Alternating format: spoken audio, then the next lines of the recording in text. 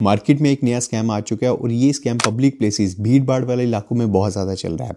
इस स्कैम में होगा क्या? स्कैमर आपको वहाँ पे अप्रोच करेगा और आपको बोलेगा कि भैया, हमारा फ़ोन घर पे रह चुका है, हमें अपने भैया को हॉस्पिटल में या घर पे वहाँ पे कॉल करना है। आप जब उसको वहाँ पे फ़ोन देंगे, वो बंदा कॉल करेगा आपके सामने। फ़ोन जाएगा स्विच ऑफ़ जब वो दूसरा कॉल वहाँ पे करेगा कि हम दूसरा कोई नंबर वहाँ पे ट्राई करते हैं तो भी उसका फ़ोन जाएगा, वहाँ पे स्विच ऑफ़ वो फ़ोन आपको वहाँ पे वापस दे देगा और बोलेगा, भैया थैंक यू आपने हमें हेल्प करी, उसके लिए शुक्रिया। आपको आधे घंटे बाद या एक घंटे बाद पता लगा कि आपके अकाउंट से वहाँ पे पैसे निकलने स्टार्ट हो गया इस स्कैम में क्या होता है? कॉल फॉरवर्डिंग वाला ये स्कैम चल रहा है।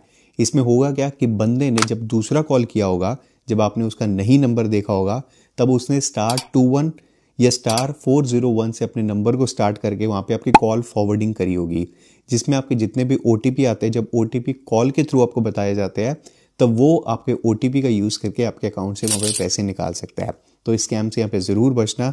किसी की जेनुअनली हेल्प करना चाहो तो अपने नंबर से, अपने हाथों से वो उनका नंबर मिलाना एंड उनको वहाँ पे देना।